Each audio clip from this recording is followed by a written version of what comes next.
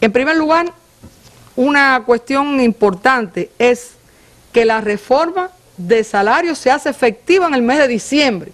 un mes antes del, inicio. Un mes antes del día cero, eso es importante. O sea, nosotros los trabajadores, estoy hablando de los, trabajadores asalariados, porque también eso es una confusión que hay de los trabajadores. Esto estamos hablando de los trabajadores que son eh, asalariados, de los 3 millones, 3,1 millones de trabajadores asalariados que tiene el, sector estatal en el, en, el, en el país. Y otros trabajadores asalariados que no laboran en el sector estatal pero, pero porque por ejemplo los que laboran en la inversión extranjera, que las entidades empleadoras son de, estatales, pero bueno, ellos eh, laboran en este, en este sector, pues estamos hablando de un concepto, trabajador asalariado, que eso es eh, un, un concepto.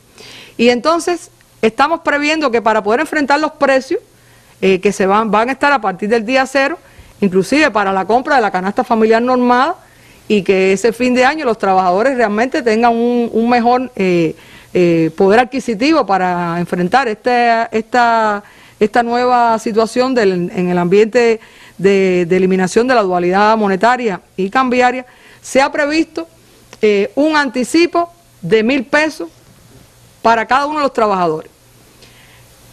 En estos momentos, y ayer también se conversó de eso, por la dinámica en que se produce esto, no es posible que las plantillas de las entidades, eh, informada la, la, la noticia, todo el mundo pudiera adecuar las plantillas poniendo a las personas en el cargo que le corresponde y en el grupo que le corresponde, porque también se hizo, se hizo una compactación de, de los, cargos para simplificar. Eh, eh, hoy existían eh, cargos de grupo A, B, C, D, E, hasta el F inclusive. todas esas cuestiones se, se, eliminaron, se hicieron cargos con nomenclatura más, más amplia. Y entonces en, esa, en, ese, en ese tema se va a hacer ese anticipo.